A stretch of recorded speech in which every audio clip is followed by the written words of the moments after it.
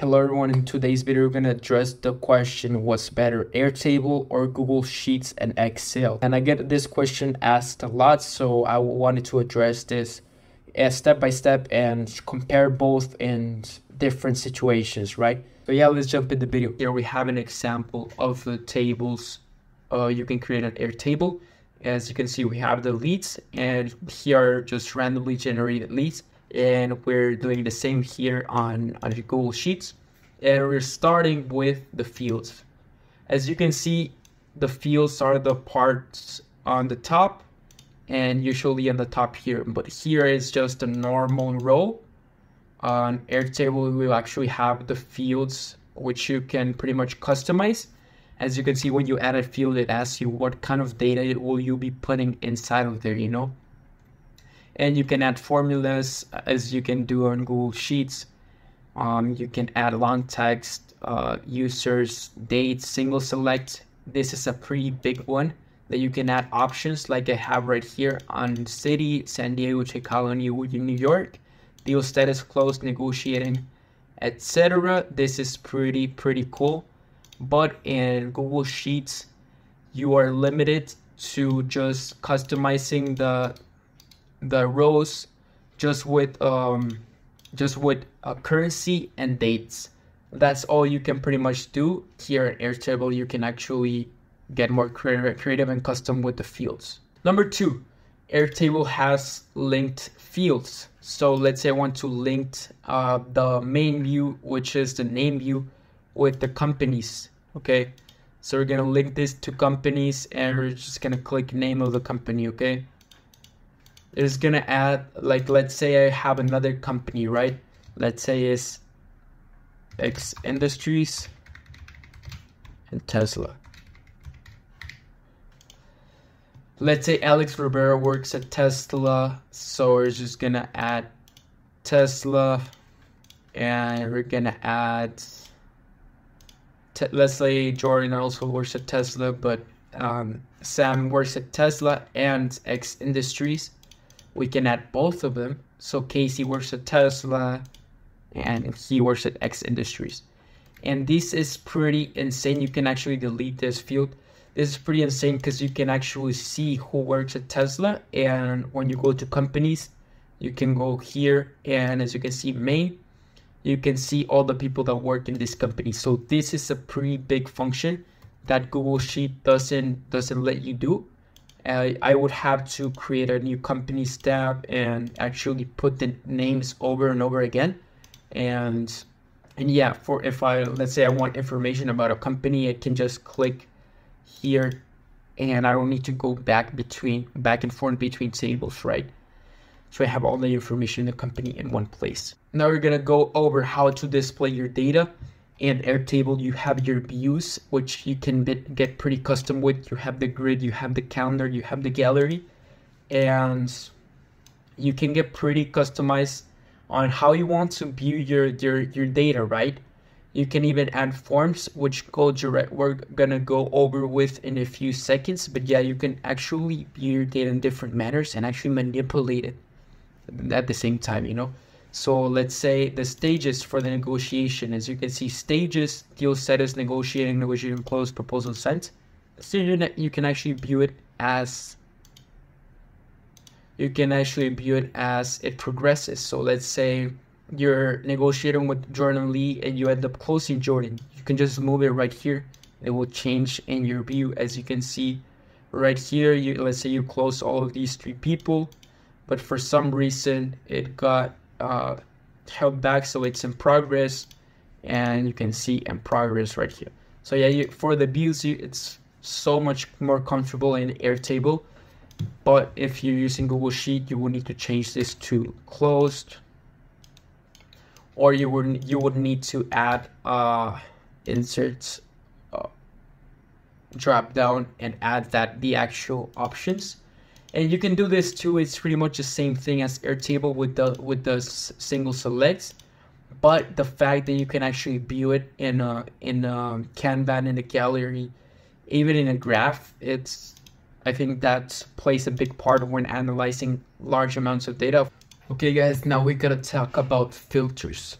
The fact that you can actually filter your fields pretty easily where with added conditions like deal status is and closed you can see just the closed people or you can change this to whatever you want. It's in progress if it's any off it's pretty cool. You can get pretty creative with this. And i believe sheets and excel also have this function. But of course it's it's more complex to set up and you can't really get creative. So for example i just want to create a new table to only view the the closed uh the person i just closed i just deal status is closed. And i don't need to see this here. And when you're managing a lot of data this is pretty helpful. But if uh, if you're here in Google Sheets, you would need to set up a filter to deal status and you know set up this filter and that a filter filter by condition and text is exactly and you, you you need to set this up in a in a more complex way and it takes more time to set up but for example here I just can create another grid and set up another filter which is pretty cool and pretty useful as well Okay, now we're gonna talk about simplicity and when we're talking about large counts of data. In Airtable, you can just create a new table and add up to a hundred about a hundred thousand rows. But in Google Sheet, you can add millions of rows. I believe it's five million the max. So yeah, when we're talking about large, large, large uh, portions of data, in Airtable, you can only store about a 100 to 200,000, and in Sheets, you can store up to 5 million. The next part is a big, big, big part uh, here in Airtable. The fact that you can automate many different tasks. So let's say when a record status is set to, to closed, we want to automate a process and send an email, you know? An Airtable is pretty simple and easy to do it, and you can do it inside of Airtable. And there's a lot, a lot of things you can do it with it. You can run a script and send a webhook. You can do a lot of stuff without having to leave Airtable, which is a pretty, pretty big part. But when we're talking about Google Sheets, you will need to set up a script so that every time you modify status or something like that, it actually sends a webhook or you can just uh, to to Make.com or, or Zapier and you can build up automation outside of Google Sheets. But now we're gonna talk about forms, which is inside of Airtable interfaces.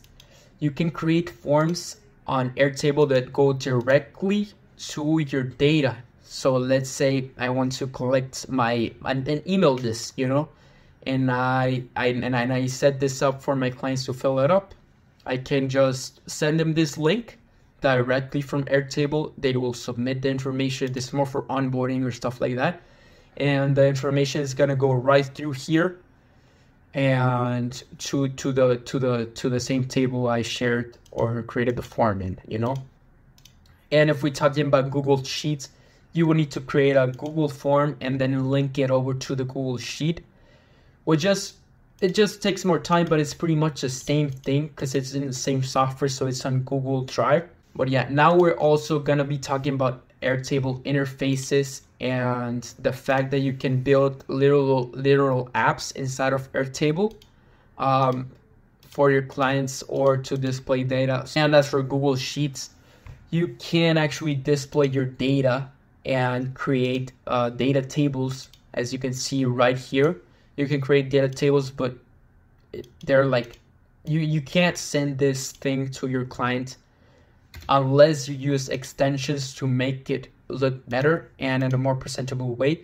But you can do that in with Airtable interfaces. You can literally click share and it will share a link so that your clients can view their reports so that you can see your accounting and the fact that you can also work directly through the interfaces so you can add records to interfaces you can do a lot of stuff this is an example of an interface I built with this uh, with this Airtable tool. So I made a blog post generator where you can actually interact with it right here. Imagine sending this something like this to your clients and they can just review and publish the blogs right here. And it's a functional, functional some little software that you can send and even sell for a lot, a lot of money. And as you can see in, in Google Sheets, you would need to send the Google Sheet, which, does, which doesn't look as good as it would on Airtable. I compare this to this, it, it's not it's not great, you know. Okay, now we're gonna talk about a little bit about pricing. Most of the features are available on the free plan, but if you want to do automations and stuff like that, like more complex, you would need to switch to the team plan, which is 20 bucks a month. As for the price, uh, Google Sheets takes a win because you can basically build whatever you want for free, right? So yeah, guys, in conclusion, I think Airtable is way, way better for businesses and Sheets is better for people that are looking to store large, large amounts of data. But when we're talking about manipulating your storage and actually showing it to people and making it functional, I believe Airtable is way, way, way better. So yeah, guys, that was pretty much it for today's video. That's the question solved. Which is better for business? In my opinion, it's Airtable 100%. If you want to sign up to Airtable, the link is down below in the description. Subscribe, like, whatever.